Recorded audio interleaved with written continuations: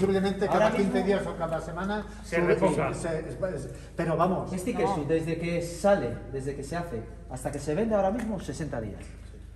Están 60 deseando días. que lleguen los 60 días para vender el queso.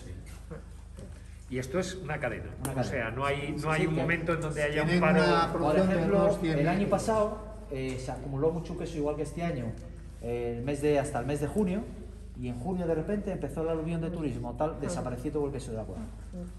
Ah, sí. Es lo que va a pasar este Claro, año. Este año ahora es la época fuerte del queso. La ves llena, cuando vengamos a mediados de julio, primeros de No agosto. nada. puedo, puedo decir que, porque me toca de cerca, que los mercados están muy, muy activos. Sí.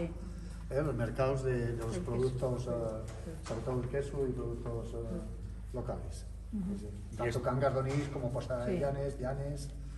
Sí. O sea, están comprando ya Sí, por sí, adelantado. sí, sí, eh, sí, Esto no, ya lo está- está comprando por adelantado. Bueno, es que la gente